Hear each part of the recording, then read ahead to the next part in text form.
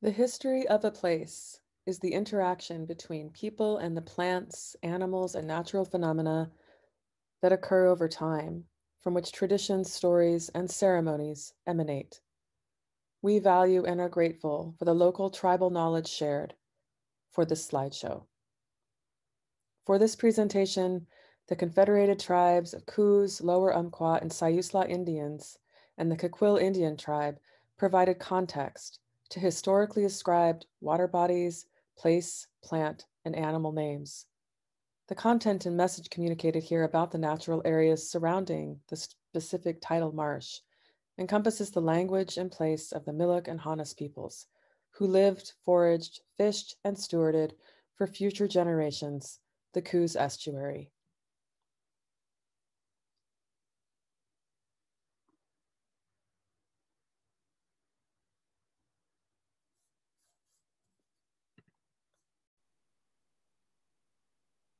Hi, Jamie Fereday here, here from Coos Bay, and I'm a retired teacher from the school district here. I spent most of my career at the school next to this tidal marsh that you see in this image. I was uh, very much inspired to make access to it for use as teaching site and for community members to hike into. I'm a part of the stewardship group now and enjoy walking the trail as much as volunteering time and effort to maintain it for education and recreation. And I'm Marina Richie. I'm a natural history writer. I live in Bend. However, I have coastal connections that date back to attending the Oregon Institute of Marine Biology in the 1980s and I recently served as the lead writer and planner for an award winning series of 66 interpretive panels at 24 sites along the Oregon coast, a project for the Oregon Islands National Wildlife Refuge and the Oregon State Parks. I'm collaborating with Jamie and an artist, Ron Popish of Newport, on a new Millicoma Marsh interpretive trail that's part of a larger effort to bring more teachers and students to investigate both the fresh and the salt marsh ecology. In this webinar, Marina and I hope to inspire you to seek out your local places of wonder, whatever they are. What this is, is a place of immense productivity in life, providing so many ecological services that are largely underappreciated. We'll go over these benefits, how they have been lost, and in some cases restored.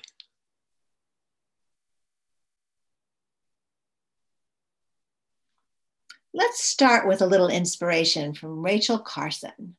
To stand at the edge of the sea, to sense the ebb and flow of the tides, to feel the breath of a mist moving over a great salt marsh, to watch the flight of shorebirds that have swept up and down the surf lines of the continents for untold thousands of years, to see the running of the old eels and the young shad to the sea, is to have knowledge of things that are as nearly eternal as any earthly life can be. And salt marshes are dynamic and flowing places, just like the shorebirds tracing their way across the open waters, the eelgrass beds, the brackish and freshwater marshes, and yes, salt marshes that are very sheltered and nourished.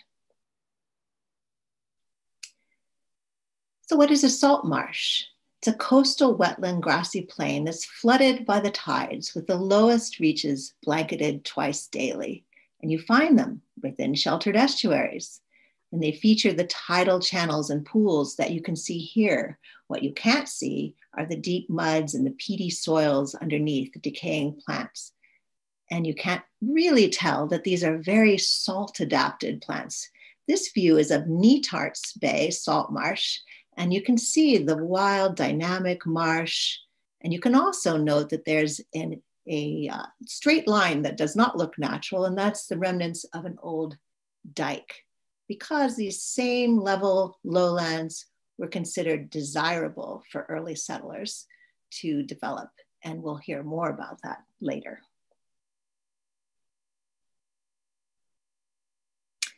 What we want you to come away with are several points that we'll go into later. Why salt marshes are so special. They are marine life nurseries, incubators, and habitat And they're doing this amazing work for us all the time, filtering pollutants, stabilizing the shoreline, buffering storms and flooding, and sequestering and storing large amounts of carbon.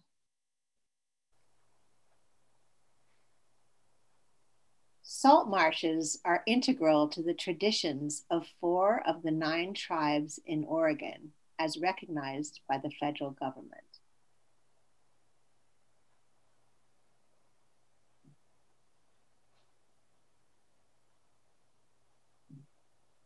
Uh, tidal wetlands have been diked and drained for um, centuries globally and locally since the 1800s for building pasture land or buildable flat land for, for human habitation.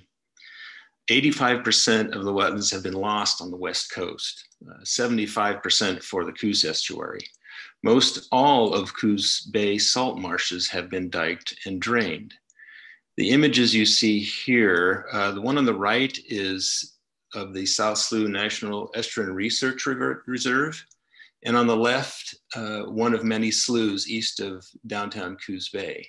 They're both at high tide, but you'll notice that um, one is, has much more dry land um, because the, they have built during low tide, dikes have been built along those tide channels that you can see uh, in the South Slough image uh, dike building often follows those, those channels and it's an easy way to reclaim land. And you'll also notice in the right-hand image, there's uh, near the, the top third, there is a dike that has been broken and the tide has now reclaimed that back into uh, tidal marsh. The good news is, is that uh, there is some revival in restoring wetlands. And this is a process of just reversing the diking and draining process, uh, reintroducing the tides into the wetlands, the, the former wetlands, and uh, letting nature basically take over and revive those areas back to their uh, hopefully original state.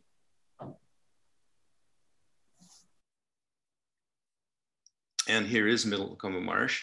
This is taken from the trail, which is uh, up on a, on a large dike. You can see the image of the slope on the left, and that is uh, uh, the edge of a huge fill area, uh, diked material or dredge material from the bay has been placed on top of what used to be tidelands. And in 1972, uh, due to the Coastal Zone Management Act, that was halted. Uh, no more wetlands were filled. Um, and so you can look at that as a, as a tide of land moving toward wetlands and being halted by an act of Congress. And here's a view um, just several feet up with a drone and you can see to the left that edge of diked and, and uh, filled land and the Middle Marsh, tidal marsh in front of us. And the, the beautiful um, pattern of tidal channels. And there is a dike in the lower right-hand corner out to the middle, and that's the end of the Middle Marsh Trail. So we can access uh, the tides twice a day.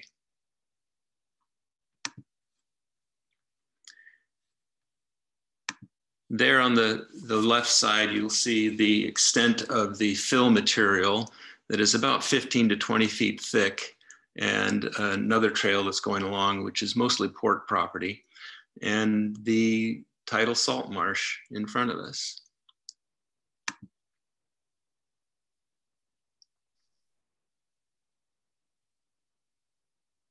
And the tidal channels connect to the bay, of course, bringing in the nutrients that make this place such a rich ecosystem. And the trail that leads down to the end uh, um, of the Millicoma Marsh Trail passes by two uh, sort of created wetlands. The, this big square thing in the middle is the city of Coos Bay's water, uh, wastewater treatment uh, facility for the sludge settling. And the one in the foreground is a freshwater pond that developed after the material, dredge material was dis- deposited. If we swing around facing west, you'll see the trail leading from this athletic field, Millicoma Middle School, Eastside Elementary, Coos Bay over here. But millions of cubic yards fill this tidal wetlands area in Eastside. Uh, but this one was saved, um, as I mentioned, due to the Coastal Zone Management Act.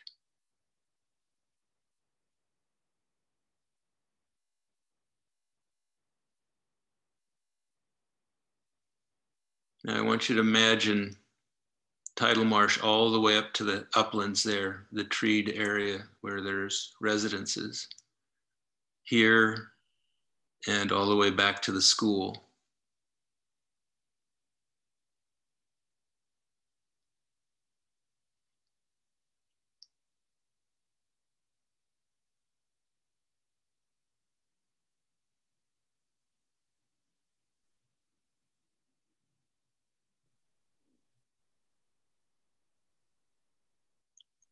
Our pilot is about to land. One more look back toward the school. This area, when I arrived, was completely just grasses, and it's grown up uh, with the help of willows and some planted evergreens along the way. There's one of the shelters in the trees.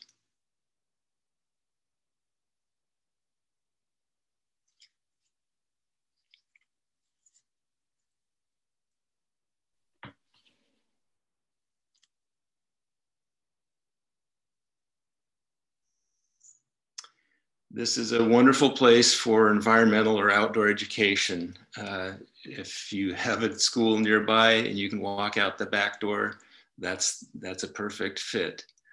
Uh, and the first part of the Millicoma Marsh Trail traverses this um, fill area, which has been raised up about 15 to 20 feet above tidal influence and now is developed as freshwater wetlands. And so this serves as a rich contrasting life zones compared to the tidal marshes, which have uh, obviously salt, salt water. Uh, residents and visitors find playing and recreating in, in, the estuary of value as others work there. Organizations like South Slough, uh, Coos Watershed, uh, Cape Arago Audubon, Bureau of Land Management, o Oregon Department of Fish and Wildlife, and tribal nations involve themselves as part of their purposes. Uh, the trail affords uh, users many values. Uh, we hear back from people talking of the solitude, the, the birds, the wildlife, and so close to home, and it's fully accessible to all ages. Millicoma's salt marsh, like all Oregon's salt marshes, have been stewarded by tribes. Since time immemorial, tribal people have sustainably fished, gathered and managed culturally significant plants and traditional food plants growing in or adjacent to the marshes. Within local native culture, the water told the people where to live. Solid land with good access to deep water was sought for good village sites, and salt marshes were stewarded for thousands of years for an abundance of resources such as sedges and rushes. Patricia Phillips, a Mille Coos tribal member, describes rushes in her book, Eth Ethnobotany of Coos, Lower Umpqua, and Siuslaw Indians. Rushes were used to make tump lines for pack baskets, rope for berry baskets, and carrying straps for baby cradles. They were also sometimes used along with cattail leaves in weaving women's hats and also in berry baskets with bear grass as an overlay. Rushes are still used today by the Coos Bay weavers, along with many other plants, and are carefully harvested from different locations. The sedge used in weaving, often called sweetgrass, is American three square, found in the freshwater and saltwater marshes and along other waterways.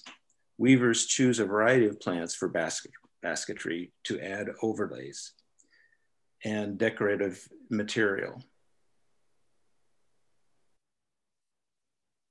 and as a teacher um, and a citizen, I we are uh, try to help our young citizens learn those uh, activities that help their community.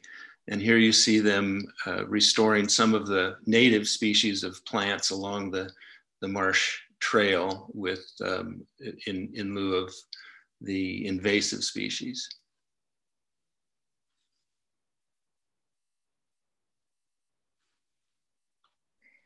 Now I'm going to take you a little bit on a, a journey. Pretend you're walking along the marsh trail with us.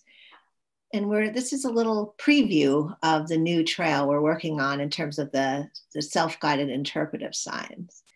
And we want people to think, consider they're taking a journey that's both overland and underland. With every step, there's a buried salt marsh that's going to be closer to the surface. And the destination is the original tidal salt marsh, as you can see here. At the beginning of the trail is an entry kiosk, an existing one that has community billboards and student art and work and other notices. In the middle will be a brand new panel that will set the stage for what we hope all visitors will learn as they go forward on this experiential self guided trail. The first sign will give people a chance to think about what it was like, where they were standing, where they're standing by that kiosk was once salt marsh. They might have been in rubber boots or in a tidal channel right there. And this idea that in this picture on the left, you can see an old picture, you can see a bit how the marsh used to be in 1910. And then in the 1850s is actually when the European settlers started diking, draining, and filling the Coos estuary. Um, and then 1989, you can see how bare it all looks. This athletic field is what you cross over to get to that kiosk area at the beginning. And that's after decades of dumping dredged sand, silt, and mud, and it had just mostly non native grasses. The difference now is unbelievable when you come to Millicoma Marsh. The freshwater marsh of today that you start walking through, that was once salt marsh, is really a tribute to the volunteers and the students and teachers like Jamie, who are planting the trees, and the groups like Audubon, who are creating the slopes, ponds, and channels, and others to help this become a wildlife mecca, and nature really did the rest. The Confederated tribes of Coos, Lower Umpqua, and Siuslaw Indians are made up of three tribes, four bands, two bands of Coos tribes, Hanis Coos, Mille Coos, Lower Umpqua tribe, and Siuslaw tribe. The Coos tribe lived on the southwest Oregon Pacific coast. The two Coos communities were deeply intertwined. The Hanis lived on the upper and mid bay, Mille on and near the South Slough. The Mille had fish camps on South Fork. The Hanis had seasonal fish camps on the river from the mouth to the forks and on the North Fork, the modern Millicoma. Native lands were taken without payment, contrary to the law. Despite having their lands taken from them, the local tribes still see themselves as stewards of their lands and waters where their ancestors lived for thousands of years. They are involved up and down the coast with restoration efforts, many including salt marshes for their valued weaving materials, as well as being fish habitat and filtering systems. The tribes recognize that water is life. If you don't have water, you have nothing. And that is a quote from Chief Doc Slater of the Confederated Tribes of Coos, Lower Umpqua, and Siuslaw Indians. The Hanis had a, their largest empire village, Hanislich, was a fish camp at a place not too far away and upstream from Millicoma Marsh. The Mille speaking Bay villages had their fish camps on the South Fork Coos River.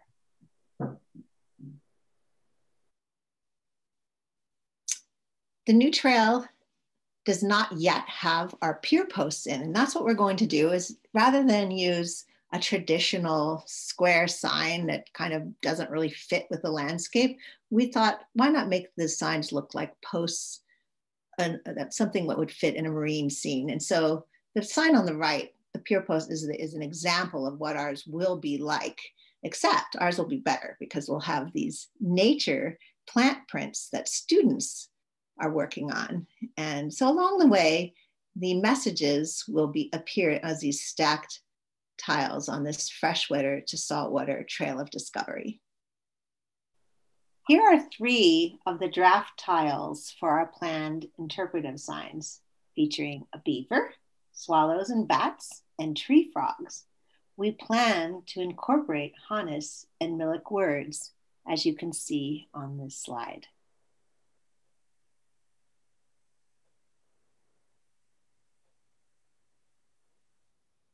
About 33 years ago, I started my teaching post at Millicoma Middle School. And as a biology student myself, was astonished to see what was available out the back door. Field experiences are key to learning life sciences, and we were 10 minutes by foot to the tides of the estuary. But the last step was through a dense curtain of Himalayan blackberry, and that's where uh, federal funds came in to build a trail to the salt marsh. And 10 minutes later, you could get to this uh, tidal channel of the salt marsh. Uh, this is a place of calm waters and lots of organic material coming down from the Coos River and from the ocean, uh, twice a day tides. Uh, in this rich sediment, mud burrowing creatures exploit this near inexhaustible supply of nutrients. These food, these are food for predatory animals, mostly fish and birds. Uh, and the salt marsh channels provide food, shelter, and, and tranquil place for young fish to uh, rest and grow, especially those who, like salmon, must acclimate to fresh and saltwater environments. As Marina already mentioned, uh, these are places where um, many values exist. Um, the tides of the ocean and the flow of the river in a twice, twice a day ebb and flood, bring nutrients to the plants and animals and taking away waste products. These are truly nurseries and incubators. The productivity of salt marshes rivals or surpasses that of our richest corn or wheat fields, supplying food for worms, oysters, clams, crabs, shrimp, fish, birds, and mammals, us included. Roughly 80 to 90% of commercial fish species depend on estuaries at some point in their life cycle. These are also huge uh, filters. The, the wide reaches of tide flats are natural for trapping and capturing not only nutrients, but also any toxins or pathogens can be neutralized biologically here. Floodwaters from extensive rain and storm events are better stabilized when there are areas to spread out and keep shorelines to uplands more stable. And last but not least, um, these tidelands, especially marshes, accrue and hold large amounts of carbon. When they are drained and dried, the carbon stores are released into the atmosphere. Restoring wetlands reverses this trend. Stay tuned for a video later in this show, an up close look at carbon in a marsh, referred to as blue carbon. What I'd like you to think of now and imagine is that you're a coho salmon hatched out in a gravel bed way up the west fork of the Millicoma River, which is a tributary to the Coos. Your yolk sac sustains you for four months when you emerge to feed off of plankton nearby. And after about 18 months, you head downstream toward the ocean and get your first taste of brackish water during high tide in the estuary. You're about four inches long and schooling with other coho, but are vulnerable to predation in the open bay water. So you seek a shallow set of tide channels that are easy to navigate and full of tasty crustaceans. Next move is to the ocean in about five months. But for now, you find sanctuary in the marsh channels, eating, resting, and growing. Sound like a nursery? To reiterate Rachel Carson, what if that place was not there? What if I had never seen this before? The nursery artwork you just saw that Jamie told you about, the Coho Salmon Journey, is another little tile that's going to appear out at the end of the Marsh Interpretive Trail, where people are looking out and having this spectacular view of the last best salt marsh. And also, we'll invite people to walk down and into the marsh itself and have a, a post down at that edge and feature the adaptations of plants to salt. Seawater is a real challenge, but the salt marsh plants have triumphed through evolution. They had to overcome these things. One, how to absorb water from a saline solution. Two, how to maintain internal salt levels within comfortable limits. And three, how to absorb enough nutrients that they must have from a solution so rich in toxic salts. So they figure out a way to exclude what's bad and attracts what's good through complex chemical mechanisms. And they still have to get rid of the unwanted salt with special organs called salt glands that are found on the leaves and stems of most salt tolerant plants.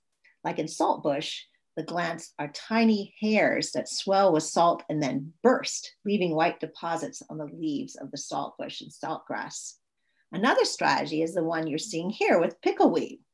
So you can read about it here, and it's uh, that they to live here. This crafty plant removes salt and stores brine in special chambers at its tips. When full, the segments turn red and drop off.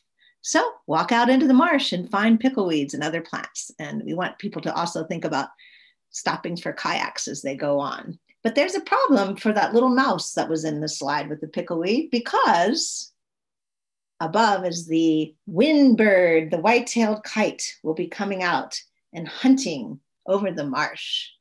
Northern harriers, too, are swooping low as they can find uh, pretty tasty rodents among those salty grasses. And the white-tailed kite is particularly spectacular, and we're very lucky to have this bird along the coast of Oregon. Uh, you may have seen the kite way fluttering high above a field in our salt marsh. And this distinctive behavior facing into the wind like that and the beautiful white wings is called kiting, as if the bird were attached by an invisible string. So this is a, a wonderful place for viewing raptors. It's also a place to listen for some very well adapted birds that you are not going to see often, like the Virginia rail.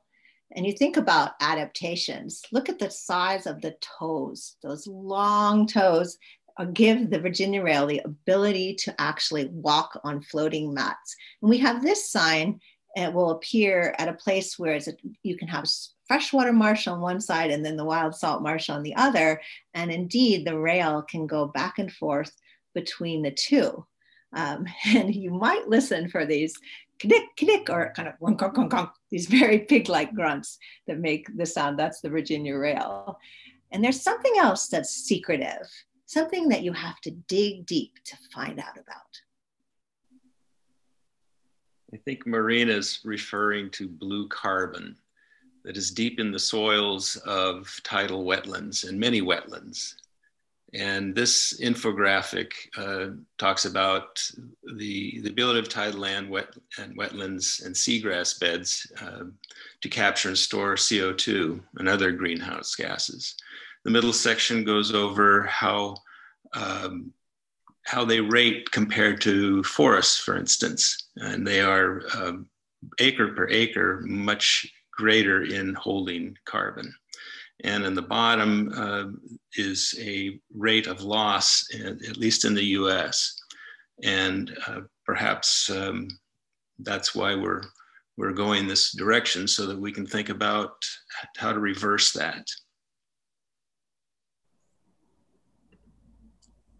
We're going to hear now from Craig Cornu, who is a former uh, employee as the stewardship coordinator at South Slough and is now with uh, an Institute of Applied Ecology about salt marshes.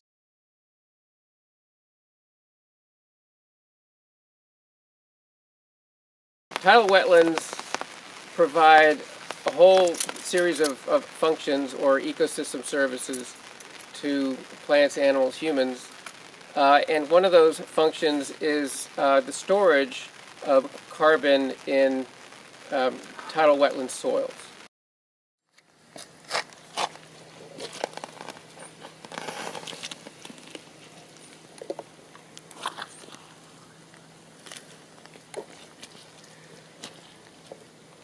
Okay, what is blue carbon?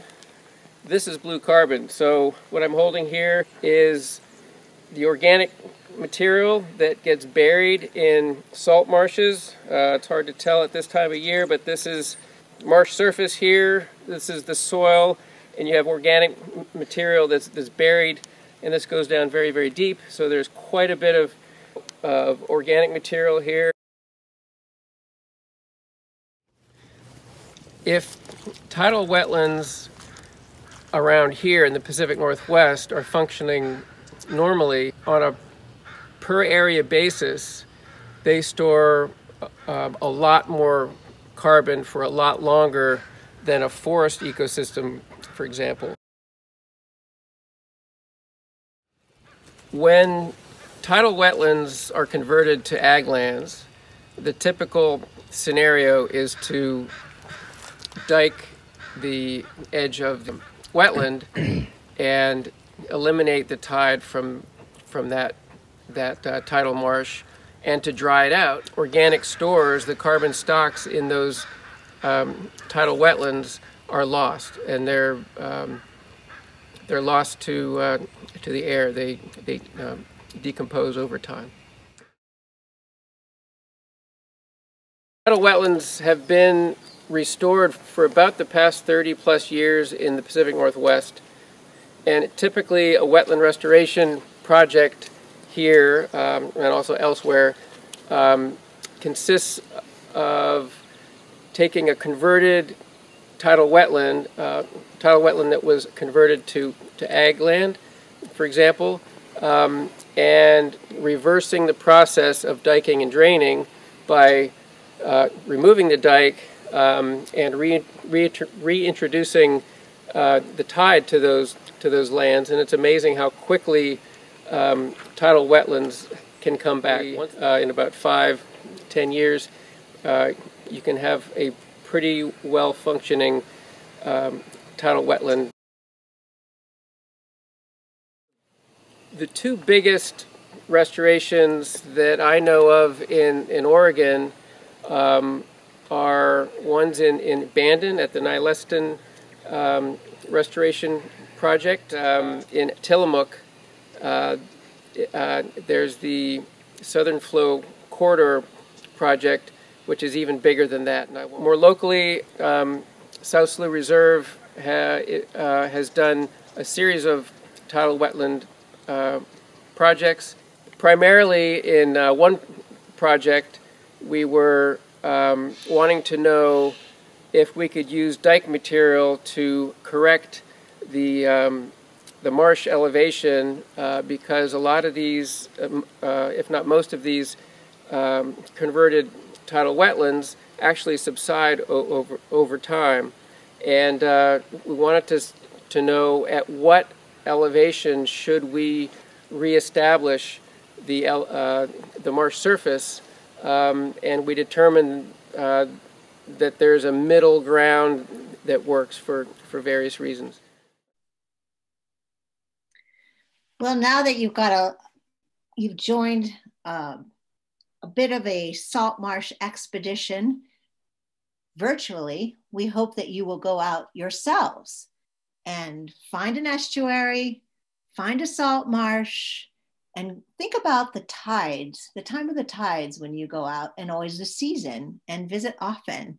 This is a photo that Jamie took uh, recently of the king tide at Millicoma Marsh. So there's a lot of water. Just think how those plants had to adapt to all that salt, and imagine what might be swimming below the surface.